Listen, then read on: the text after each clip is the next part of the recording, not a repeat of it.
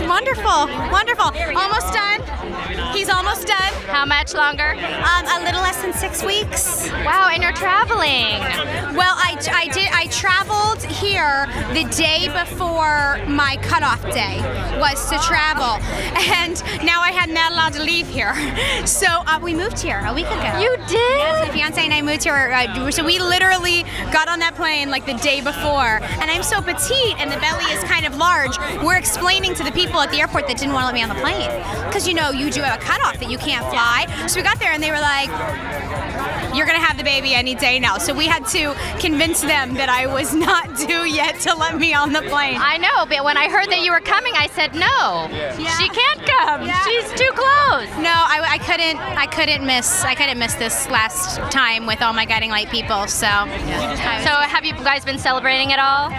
Uh, this whole the whole last month of shooting was like a big celebration.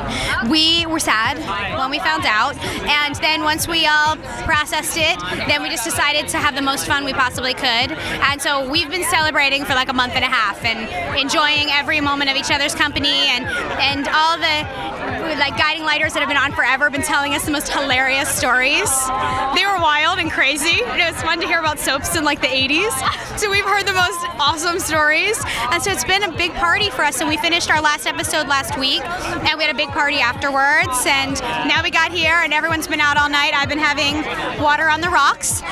Everyone else has been not. So yeah, so been partying since we've been here. So yeah, yeah. Now tell me, how did you plan for your dress, knowing that you would be a different size closer to? I actually did no planning. This is my first time I've ever come to a award show with zero planning because I couldn't, because I knew I'd be a different size. So as of six days ago, I didn't have a dress. Oh my god. Well, we just thought we'll find one and then we'll tailor it to fit me like a couple days before because every week is different.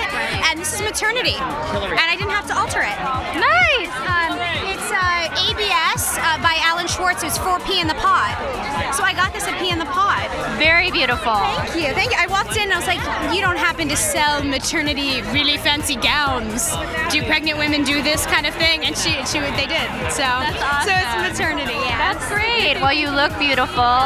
Good luck with your baby. Thank you so much. And um, I'm so glad you're in LA. Or will you be pursuing? Absolutely.